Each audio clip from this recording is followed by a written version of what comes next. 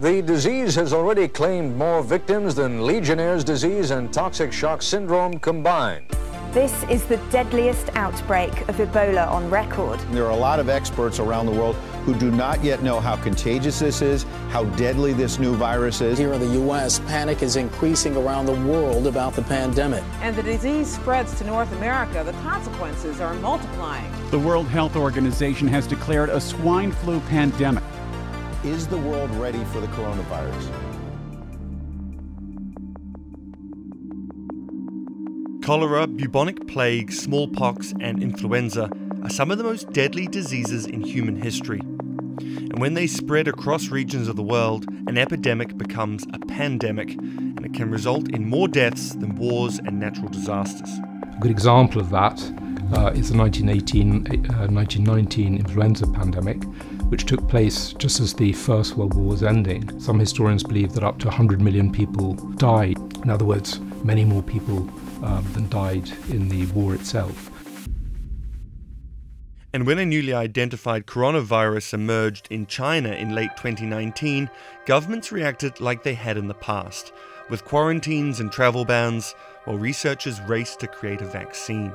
We tend to think about managing an epidemic episode like this in terms of the sort of public health or science. But in fact, what I would argue is that the root of many of the issues here are sort of social, cultural, and political issues. Practices, how people live, working environments, how people travel, why they live in cities.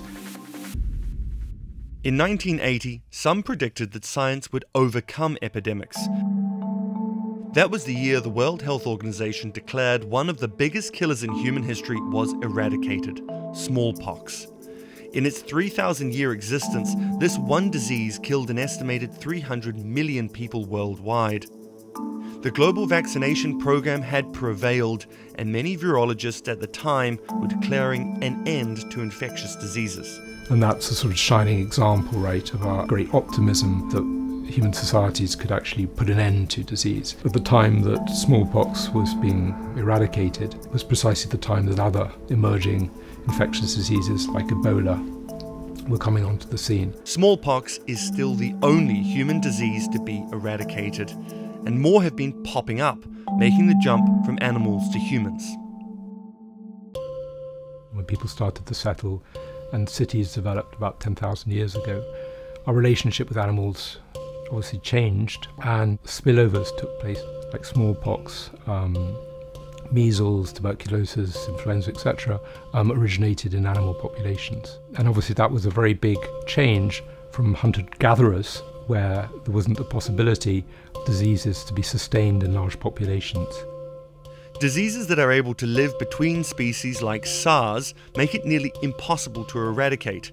And that's why the plague, which exists in rodents and killed between 75 to 200 million people in Eurasia, still exists to this day.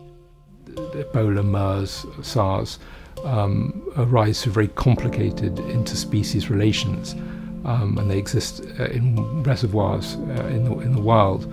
Um, those diseases are very difficult for us to tackle. Wild animals are just a small piece of the puzzle.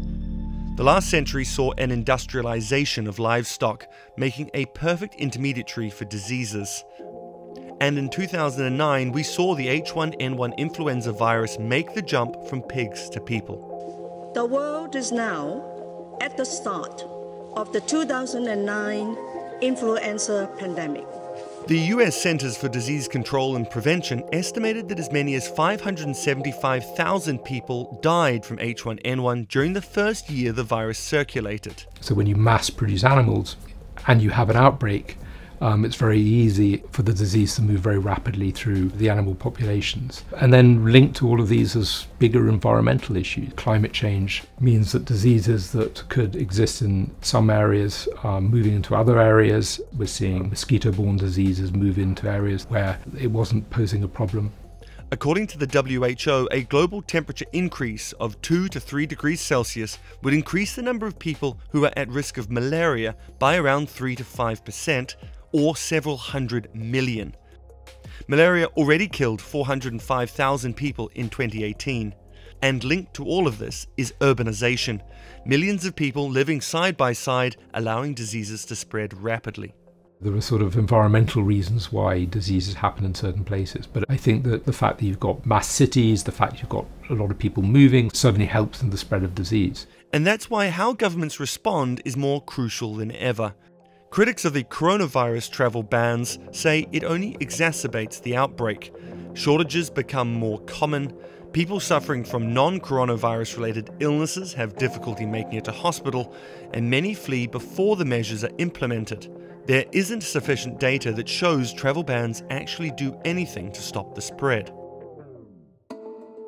It's interesting that as this coronavirus outbreak is happening, we've got an H5N1 outbreak in a poultry farm in China, we've got H1N1 um, in Taiwan. There are many other diseases around, and they could pose problems. We've had the African swine fever decimating the pig population. 300 million pigs have died. So I think there's an issue about what diseases gets focused on, why it gets focused on, what the politics of that um, is. What's clear is in order to tackle infectious diseases, a more integrated approach that considers all of the variables is needed. Over the last 10 15 years, there's been a move towards One Health, which is an integrated health that essentially tries to put human health and animal health together. To say that actually we can't deal with human health unless we integrate and think about what's happening in animal populations.